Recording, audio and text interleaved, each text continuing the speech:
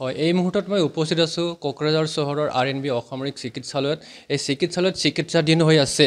যোৱা ঊনত্ৰিছ নৱেম্বৰত কোকৰাঝাৰ চহৰৰ যি বিধানপল্লী বিধানপল্লীত হোৱাৰ এক জঘন্য হত্যাকাণ্ডৰ সৈতে জড়িত এগৰাকী অপৰাধী যাক শম্ভু কাহাৰ ওৰফে চিল বুলি তেওঁক জনা যায়। তেওঁক যি হত্যাকাণ্ড সংঘটিত কৰিছিলে তাৰ সেই ঘটনাৰ পৰৱৰ্তী সময়ত আজি নিশা প্ৰায় চাৰে বাৰ বজাত কোকৰাঝাৰ আৰক্ষীৰ গুলীত তেওঁ ইতিমধ্যে আহত হৈছে। বাওঁ ভৰিত তেওঁৰ গুলী লাগিছে আৰু কোকৰাঝাৰ আৰ এন বি অসামৰিক চিকিৎসালয়ত তেওঁ চিকিৎসাধীন হৈ আছে। এয়া ঊনত্ৰিছ নম্বৰ বেডত তেওঁ আছে।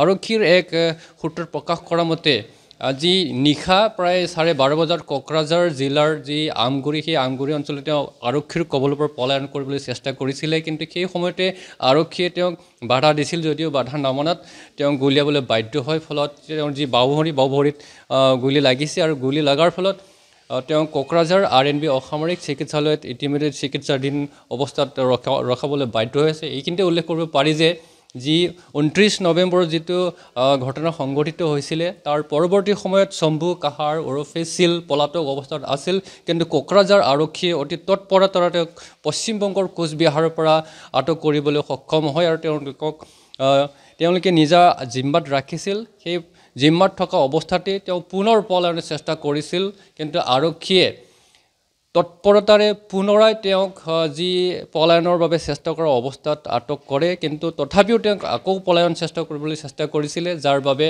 আৰক্ষীয়ে গুলী কৰি গুলীচালনা কৰিবলৈ বাধ্য হয়। আৰু ফলত সম্প্ৰতি কোকৰাঝাৰ আৰ এন বি অসামৰিক চিকিৎসালয়ত শম্ভু কাহাৰ ওৰফে চিল চিকিৎসাধীন হৈ আছে। আৰু চিকিৎসকেও জানিব দিছে যে তেওঁৰ গুৰি বাওঁ ভৰিত গুলী লাগিছে আৰু সম্প্ৰতি চিকিৎসাধীন হৈ আছে।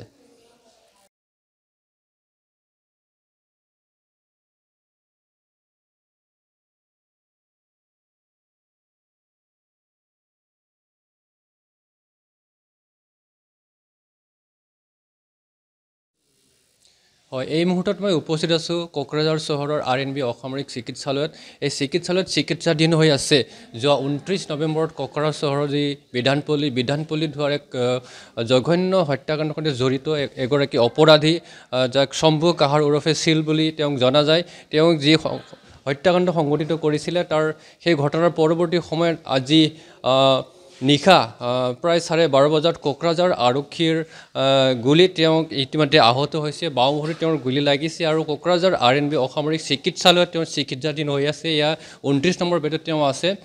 আৰক্ষীৰ এক সূত্ৰত প্ৰকাশ কৰা মতে আজি নিশা প্ৰায় চাৰে বাৰ বজাত কোকৰাঝাৰ জিলাৰ যি আমগুৰি সেই আমগুৰি অঞ্চলত তেওঁ আৰক্ষীৰ কবলৰ পৰা পলায়ন কৰিবলৈ চেষ্টা কৰিছিলে। কিন্তু সেই সময়তে আৰক্ষীয়ে তেওঁক বাধা দিছিল যদিও বাধা নামনাত তেওঁ গুলীয়াবলৈ বাধ্য হয়। ফলত তেওঁৰ যি বাওভৰি বাওভৰিত গুলী লাগিছে আৰু গুলী লগাৰ ফলত তেওঁ কোকৰাঝাৰ আৰ এন বি অসামৰিক চিকিৎসালয়ত ইতিমধ্যে চিকিৎসাধীন অৱস্থাত ৰখা ৰখাবলৈ বাধ্য হৈছে এইখিনিতে উল্লেখ কৰিব পাৰি যে যি ঊনত্ৰিছ নৱেম্বৰত যিটো ঘটনা সংঘটিত হৈছিলে তাৰ পৰৱৰ্তী সময়ত শম্ভু কাহাৰ ওৰফে চিল পলাতক অৱস্থাত আছিল কিন্তু কোকৰাঝাৰ আৰক্ষীয়ে অতি তৎপৰতাৰে তেওঁক পশ্চিমবংগৰ কোচবিহাৰৰ পৰা আটক কৰিবলৈ সক্ষম হয় আৰু তেওঁলোকক তেওঁলোকে নিজা জিম্মাত ৰাখিছিল। সেই জিম্মাত থকা অৱস্থাতেই তেওঁ পুনৰ পলায়নৰ চেষ্টা কৰিছিল কিন্তু আৰক্ষীয়ে তৎপৰতাৰে পুনৰাই তেওঁক যি পলায়নৰ বাবে চেষ্টা কৰা অৱস্থাত আটক কৰে কিন্তু তথাপিও তেওঁক আকৌ পলায়ন চেষ্টা কৰিবলৈ চেষ্টা কৰিছিলে যাৰ বাবে